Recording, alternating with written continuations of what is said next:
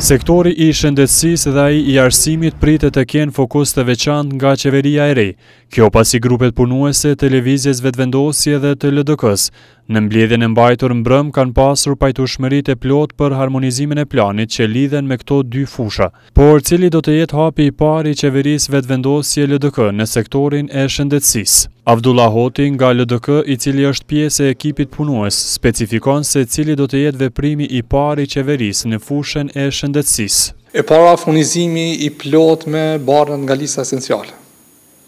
Që edhe në të kalumën nuk ka mungu buxheti, më shumë ka mungu mënyra se si është menaxhu procesi i furnizimit me me barna, që është përkeqësu gjatë dy viteve të fundit. E dyta, do t'i kthehemi projektit që e kemi nisë kur kemi qenë ne në qeveri, të pajisjes së gjitha klinikave, të gjitha spitaleve regjionale, me të gjitha pajisjet e nevojshme për të ofruar shërbime shëndetësore cilësore dhe ajo që është e rëndësishme, projekti më i madh në kuadër të shëndetësisë është funksionalizimi i Fondit për Sigurime Shëndetësore. Njohësi i fushës së shëndetësisë, neurokirurgu Talat Gjinolli, është skeptik se mund të realizohen të gjitha premtimet.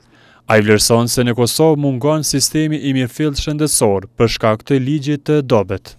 Nuk kemi fatkeqësisht sistem shëndetësor. Ne kemi komponente të një sistemi shëndetësor, por sistemi i mirëfilltë shëndetësor nuk ekziston, meqenëse këto komponente të një sistemi shëndetësor, siç janë institucionet, ofruesit e shërbimeve shëndetësore, do thotë profesionistat shëndetësorë, pacientët, institucionet financiare, Kompanitë e sigurimeve duhet të funksionojnë në një tanësi që të flasim për një sistem shëndetësor. E para e së parës është duhet të rregullohet rregullativa ligjore. Ajo që zakonisht pacientët përballen në QKUK është mungesa e barnave të nevojshme. Neurokirurgu Gjinolli thotë se edhe në këtë drejtim duhet të punohet urgjent. se në të njëjtën kohë i keni në, në, në oborrin e QKUK-së edhe rreth QKUK-së 60 apo 70 farmaci.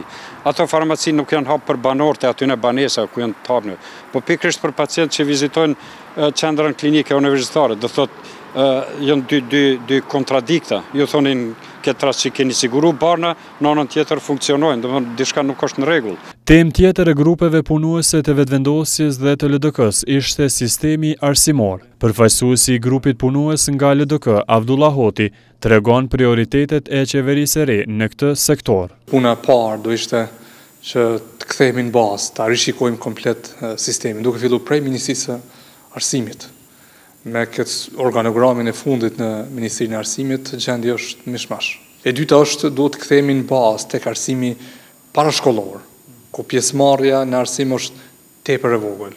Njohësi i fushës së arsimit Dukagjin Pupovci vlerëson se puna e parë e qeverisë së re duhet të jetë përmirësimi i sistemit arsimor, që duhet të bëhet përmes Inspektoratit të Arsimit dhe testeve ndërkombëtare për cilësi që organizohen nga ministria. Dhe kjo pastaj e nxit edhe përgjegjësinë dhe llogaridhënien edhe në nivelin lokal, sepse krijohet një farë mekanizmi i cili faktikisht e bën atë mbikëqyrjen ligjore të veprimit që bëhet në shkolla dhe kjo e nxit në një mënyrë edhe si të them ashtu entuziazmin e punës brenda shkollave. Mendoj që Fusha prioritare për momentin janë ato që lidhen me cilësinë, pra në radhë të parë e kemi zbatimin e kurrikulës së re. Profesori Pupovci mendon se është e nevojshme që të punohet edhe në arsimin e lartë. E kemi Agjencinë e Akreditimit që është përjashtuar nga dy mekanizmat evropianë, të sigurimit të cilësisë dhe i kemi tri universitete publike që nuk janë akredituar, pra këtu thjesht si hap i parë nevojitet që të lirohen sidomos institucionet e pavarura si agjencia nga ndikimi politik, por edhe universitetet duke bërë një departizim të tyre, Takimi i radhës midis grupeve punuese të Vetëvendosjes dhe të LDK-së pritet të mbahet të enjten, në orën pesëmbëdhjetë, ku për temë diskutimi do të jetë sektori i mirëqenies sociale.